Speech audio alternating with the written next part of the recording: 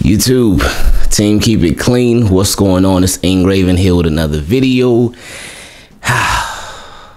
great news, really great news. I uh, I finished the season finale of All American last night. I finished it like three in the morning, but I finished it.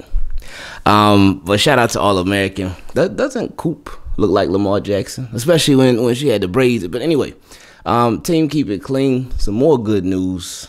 Ronnie Stanley He's back. He's back. I, I didn't know um, when we should expect him back. Uh, my hope for this entire season with Ronnie Stanley was that he would just, well, this entire offseason, my hope was that he would be ready uh, by the start of the season. Um, it's, it's sort of like last year. Obviously, him going down to injury is not good at all. Uh, but the best case scenario with his injury is that it had him available for the start of the following season. And to see 79 back out there, it's that's really, really, really, really good news. Now, um, well, he obviously is full go. He obviously is ready because Ravens they they don't tend to rush people back from injuries. And Ravens usually when it comes to injuries, they will they are very very patient with it. They're not like the Panthers who rushed Cam Newton back and he just was never quite the same.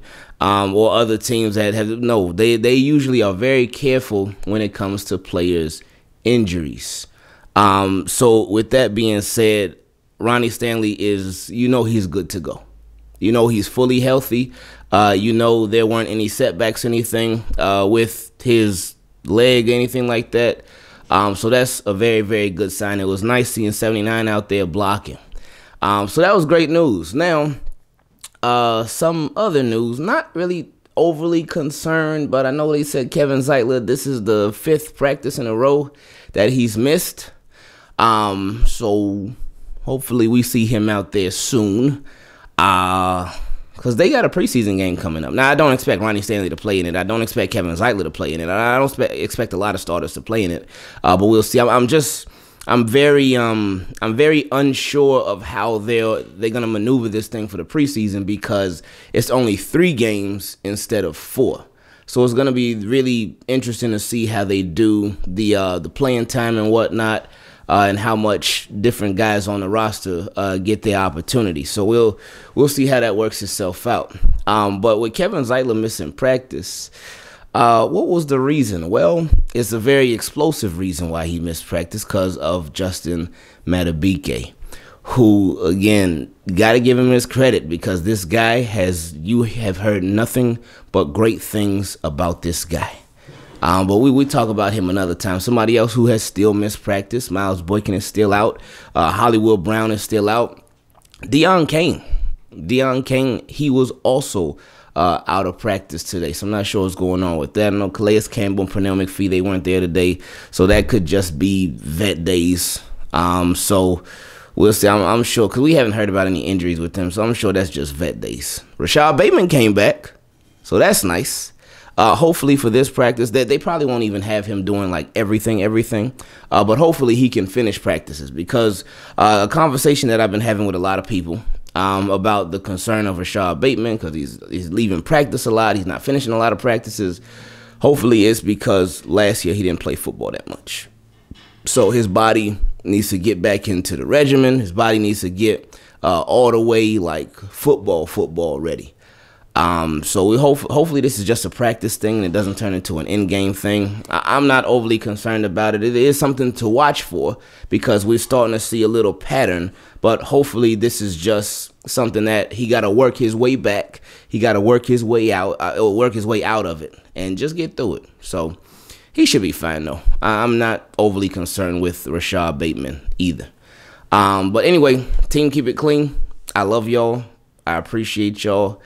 Um, if y'all don't see me in that presser today, then that means I went back to sleep.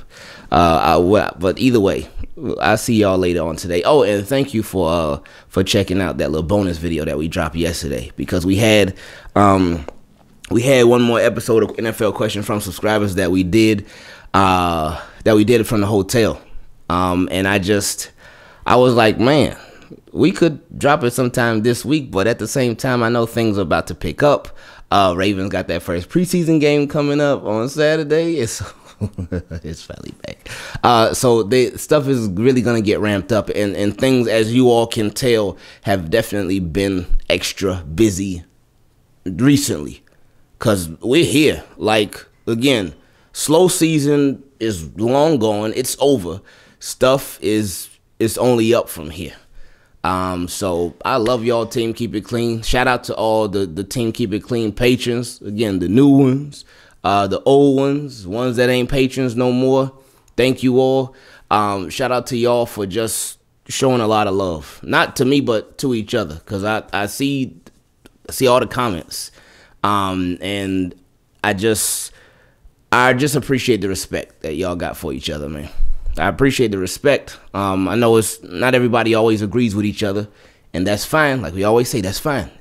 We don't want that. I, I That'd be, that'd be so boring. If, if, if everything that I said that everybody just agreed with it, no, that'd be boring. That'd be boring. But we got so many different viewpoints on stuff. But when we share those viewpoints with each other, it's always done with respect. So appreciate y'all. Love y'all. I will see y'all later on today. We out.